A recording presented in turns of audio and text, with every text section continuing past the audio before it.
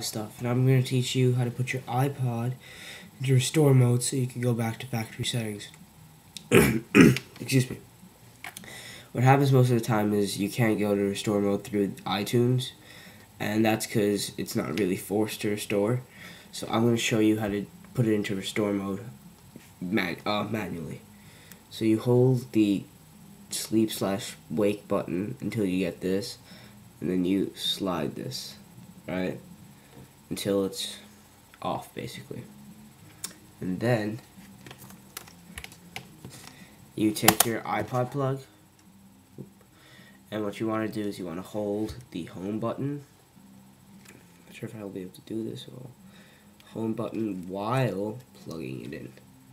And what will happen, you'll get the Apple logo. Yeah, sorry, it got, um, it shut, the photo booth shut down because iTunes opened.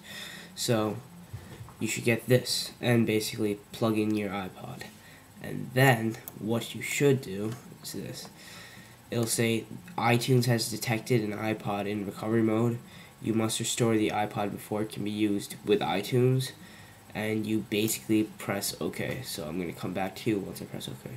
Alright, after you press OK, what you do is they'll take, a, take you to a screen where you'll see a picture of your iPod, the name iPod, and everything will be NA, non-applicable applicable.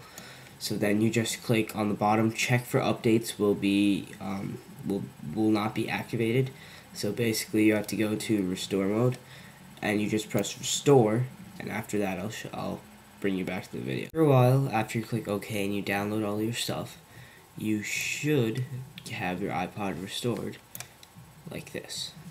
And I, mine was jailbroken before, and now it's not.